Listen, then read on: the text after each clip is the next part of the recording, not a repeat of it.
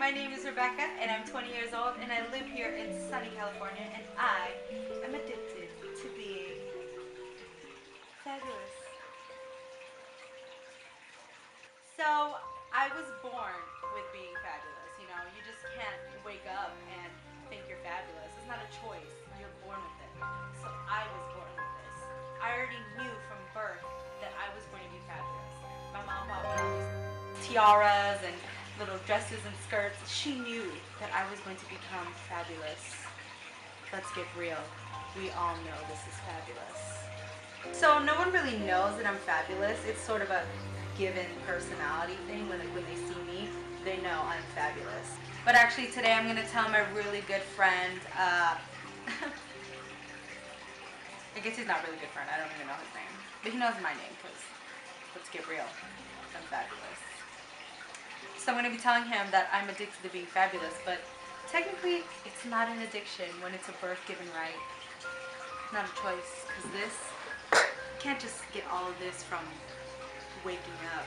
Look at this. I'm fabulous. We're going to go to my couch right now.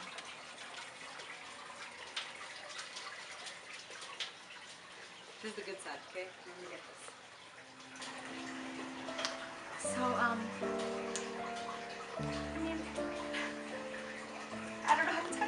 I mean, this is hard for me, and um,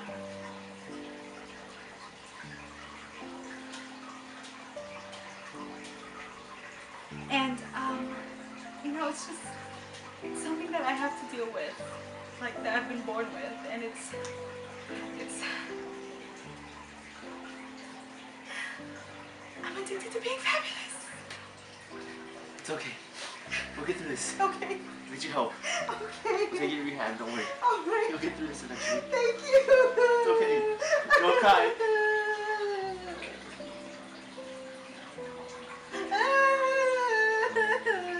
Make me look good. Stop. You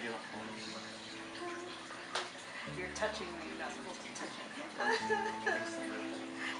Bye. Horrible.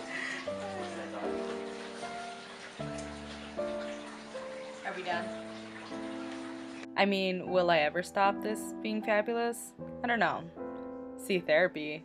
Why should I see therapy? I mean, like I said, being fabulous is what I'm born with. Right? Come on now. Let's not get over our heads. There's no need for a doctor for this. Should I go to a doctor?